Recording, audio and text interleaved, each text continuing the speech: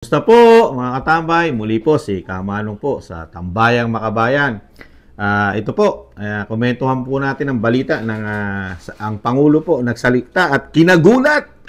Kinagulat po ng Pangulo ang sinasabing ah, yung ah, issue po na sinasabi na ah, yung ah, ginawa daw po na deal o secret deal ni dating Pangulong ah, Duterte. Yun po ang pinakamalaking problema po ng bansa natin ngayon, mga katama. Yun lang po ang pinakamalaking problema araw-araw ng bansa. Yung secret agreement po ni dating ah, Pangulong Duterte. Ito po, ah, komentuhan po natin, ah, pakinggan po natin ang ah, pahayag ng Pangulo sa isang ah, interview. I am horrified by the idea that we have compromised in through a secret agreement the territory, the sovereignty, and the sovereign rights of the Philippines. Nasindak o nabigla si Pangulong Ferdinand Marcos Jr. sa umano'y gentleman's agreement ni dating Pangulong Rodrigo Duterte sa China. Ang nasabing kasunduan ay may kinalaman umano sa BRP Sierra Madre na nakaistasyon sa Ayungin Shoal na bahagi ng pinagtatalo ng teritoryo sa West Philippine Sea. Sa ambush interview kanina, sinabi ni PBBM na iginagulat niya ang nasabing secret agreement. Wala rin umanong record ang kasalukuyang administrasyon tungkol dito. It, it turns out uh, we don't know. It is a secret agreement. We don't know anything about it. There is no documentation. There is no record. There is no. We were not briefed when I came into office. Wala walang nagsabi sa amin na merong ganong usapan. Questionable para sa Pangulo ang nasabing kasunduan kung saan kinakailangan pa umanong humingi ng permiso ng Pilipinas para gumalaw sa loob ng ating teritoryo. hindi pa namin alam kung ano ba talaga yung agreement na yan. But, kung ay ang sinasabi sa agreement na yan na kailangan tayong magpermiso sa ibang bansa para gumalaw sa ating sariling teritoryo, Alamin mo muna. mahirap siguro Ano ba yan? Mahirap siguro sundan yung kla- ganyang klaseng agreement. Ayon kay PBBM, nakikipag-ugnayan na sila sa mga dating opisyal ng nakaraang administrasyon upang malaman ang tungkol sa nasabing secret agreement. We are talking to his uh, his former officials, maybe not the president himself, but all his former officials. Tinatanong namin, ano ba yan? Ipaniwanag niyo naman sa amin para alam namin yung ginagawa namin. And uh, we still haven't gotten a straight answer.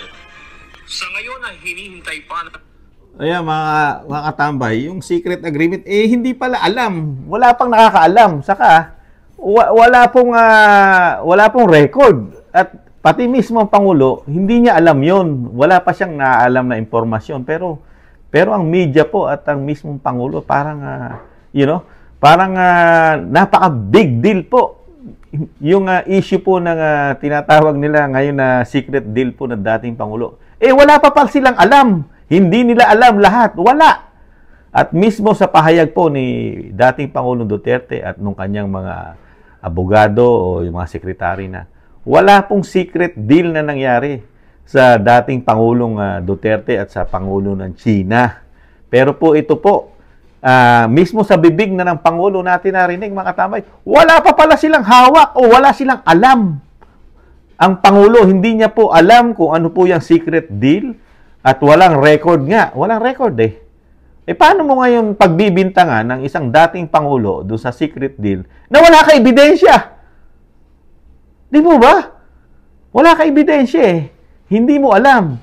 Puro di umano lang, puro haka-haka pa lang yung secret deal na hindi namin alam yung secret deal. Di po ba? Saka, sino maniniwala po mga katabay? Kahit po dali natin sa korte yung sinasabi po ng Pangulo, eh komento lang naman ni Kamanong. Komento lang. Kahit dalin mo sa korte, hindi paniniwalaan yung sinasabi mo lang na baka. Yung baka. Hindi ko alam kung meron. Kailangan tanungin ko pa. Kailangan pa ako magtanong. Magtatanong ka pa lang. Pero worried na worried ka na doon sa secret agreement. Worried na worried ka na po, Mr. President. Eh, magtatanong ka pa lang. Dahil lahat kayo wala namang alam pa. Dahil wala namang record. O, eh, paano mo pagbibintangan yung isang dating Pangulong Duterte na wala ka naman pa, wala ka naman palang hawak na ebidensya na siya ay nakipag-secret agreement. di ba ba? Parang logic-logic lang po, di ba? Nakaka, Nakaka-amaze. Pero ang balita po, eh, napakatindi na po ng balita. Talagang parang uh, magugunaw na po ang Pilipinas doon po sa pahayag ng uh, Pangulong Marcos. Pero sa kabila po ng kahit ano po kasing gawin, meron din po secret po kayo eh, na hindi namin malaman kung yung tinatago niyo po sikreto, di ba? Yung kay Pangulong Duterte na sinasabi niya walang secret. Eh, paano naman po yung sinasabi po ng mga taong bayan sa inyo na yung secret niyo po ba eh, bakit din niyo po sinasagot? Secret din po ba yon? Yung, sinasabi eh, kayo po yung nagdodroga, Mr. President. di ba? Kasama po di man, no? First Lady, nagdodroga din daw po. eh, eh, yun po eh, hindi po tinatanong yata din sa inyo yon Eh, nagtatanong din po ang mga Pilipino, kaya po bumabagsak po ang uh, survey nyo po, ang inyong approval at trust rating eh, sad-sad. Dahil po doon sa mga issue nyo po na hindi rin nyo po tinutugunan. Samantalang yung sinasabi nyo na hindi nyo alam, yung secret agreement at wala kayong alam at wala kayong hawak na ebidensya ro sa secret agreement, eh binabakbakan nyo na eh, hindi nyo pa alam. Di ba ba? Eh, ano naman ang ibababa ng trust rating ni dating Pangulong Duterte dyan? Eh, hindi na siya Pangulo. Eh, kayo po Pangulo. Kayo po ang bumabagsak ang approval at trust rating po sa, nang, nag, sa nangyayari pong performance ng inyong pamahalaan, Mr. President. Eh, isip-isip din po. Eh, kala ko ba naman po itong balita na napainggan ko po. Kaya po ako nagulat dahil sinakyan po ng malalaking media, mga isimada vloggers, uh, Gcash vlogger di umano at lahat na na talagang uh, parang napakalaking pasabog po ang paninira o banat sa dating administrasyon po. At uh, parang ikinagulat parang uh, parang ikinagulat po ninyo Mr. President yung uh, secret agreement. Eh parang ako hindi ako magugulat kasi wala akong alam, eh. hindi ko nga alam kung kung ano yung secret agreement dahil wala pa akong information na matibay na pwede kong ibigay sa media kasi haka-haka pa lang po eh. Parang nagulat ka lang eh. Oy, ganun. Di ba? Pero walang ebidensya eh. Wala kang maipakita sa amin. Wala kang maipakita sa sambayan ng Pilipino kung ano yung secret agreement. Dahil hindi mo pa alam, magtatanong ka pa lang. Tatanungin mo pa lang. Di ba?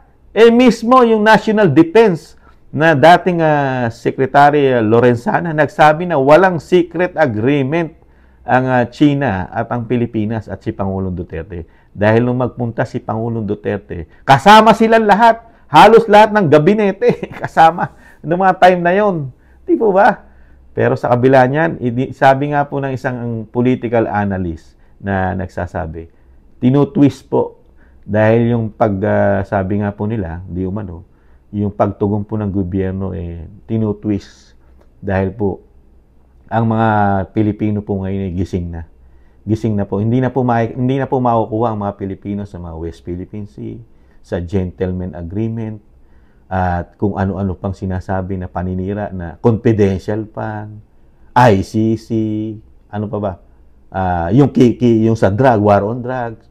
Hindi na po hindi na po makukuha sa ganyan po ang mga Pilipino dahil gising na po ang mga Pilipino. Ang ginagamit na po ng mga Pilipino ngayon, Mr. President, mata na po mata, hindi na po tenga, hindi na po nakikinig.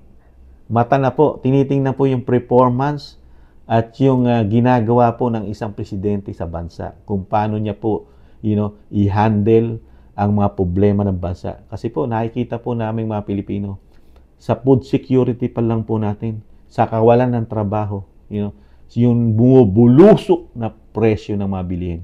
Wala po kayong nagagawa, mga Mr. President. Real talk po, real talk. Yan po ang pangunahing pangangailangan ng mahihirap. Hindi po kailangan, hindi po pangunahing pangangailangan ng mahirap ang confidential fund, West Philippine Sea, gentleman agreement, PI, cha-cha, uh, ano pa ba? ano pa ba? Confidential fund, extraordinary. Hindi po yan ang pangunahing pangangailangan ng mga Pilipino, Mr. President. Ang pangailangan, pangunahing pangangailangan ng mga Pilipino, pagkain, presyong sapat, kaya kayang kayang bilhin sa bulsa namin. Hindi po yung more than 70 pesos po ang kilo ng bigas. Mismo kayo po nangarap din po na ibaba dahil naawa kayo sa aming mahirap pero hindi po nangyari yun eh. Lalong bumulusok. Yung dating 30 plus ni Pangulong Duterte o 40 pesos, ngayon po pa-80 na, Mr. President. Pero ang issue pa rin po na ginagawa nyo sa amin, West Philippine Sea lang po. West Philippine Sea, gentleman agreement. Hindi po makapag, hindi po makapagpapakain ng aming mga anak yan, Mr. President. Hindi po makapagpapababa ng bilihin po ang ginagawa nyo po na pag-atake, na wala pa naman pala kayong mga matibay na ebidensya. Sinisiraan lang, inuuna po ang paninira kisa ron sa paghanap ng ebidensya. Ganun po ang nakikita ni Kamanong eh. Sisiraan mo muna sisiraan yung gusto mong siraan. Pero wala ka pang hawak na matibay na ebidensya. Pero sira na siya. Sira na. Naunay paninira bago ka magkumalap ng ebidensya. Ganun po ang nakikita ni Kamanong. Kayo po, ano po nakikita nyo, mga katambay? May mga mata naman po tayo, di ba? At may tenga na napapainggan po natin yung sinasabi po ng ating pamahalaan, di ba? Ngayon po, nakita po natin ang pahayag ng Pangulo. Wala pa siyang alam at wala pa siyang hawak na ebidensya. Mangangalap pa lang. Pero worried na worried na po. Halos talagang parang ibinenta na ang ating mga isla. At parang sinakop na tayo ng China, mga katambay. Pero wala pang ebidensya. Magtatanong pa lang. Di ba? Hiyang-hiya naman tayo. Pati sa media hindi na po gumagamit ng logic ang media natin ngayon. At ang mga sinasabing diehard supporters ng administrasyon. Minsan po, gagamitan po natin ng logic. kahit po, kahit po si Kamanong eh, bobo. madali pong intindihin eh. Mga tambay, madaling intindihin po yung pahayag ng Pangulo na wala pang kahawak-hawak na kahit kapirasong papel na katulad ni Maharlika. Buti nga si Maharlika kahit papel na sinasabi lang peke, eh may hawak na sinasabing kayo daw po ay adik, nagpupulburon, bangag. Eh pero hindi po ninyo pinatutunayan din sa amin. Eh secret din po ba, secret din po ba 'yon? Secret agreement din po ba yung hindi po na hindi po ninyo nilalabas yung resulta po o magpa-drug test kayo, di umano. Yung inyong pagiging drug addict daw. Kahit na naglalabas ng ebidensya si Maharlika. Eh yun, may ebidensya na pero Hindi natin pinapatulan. Samantalang yung binabakbakan natin dating Pangulo, wala pa tayong hawak na ebidensya, pero sira-sira na. Di ba mga tambay? Ay, nako po. Yan po mga tambay, ang uh, komento ni Kamanong dito sa pinagkakaguluhan ng ating media, ng ating Isimada Vloggers, at ang Gcash Vlogger di umano, at lahat na nagsama-sama na, Akbayan, Makabayan Black, at marami pang iba dito sa sinasabing uh, ng Pangulo na ikinagulat, ikinagulat, talagang worry na worry, delikado ang ating bansa. Pero wala pa akong hawak na ebidensya. Magtatanong pa lang ako. Patatawag ko pa lang yung dating uh, nakaupo na mga sekretary. Hindi pa kinakausap, pero may konklusyon ka na. Di ba mga tambay? Yan lang po mga tambay. Si Kamanong na nag-iwan pong taste-taste lang po tayo. May pag-asa pang makabangon at makabawi ang ating bansa. Paalam. Bye-bye.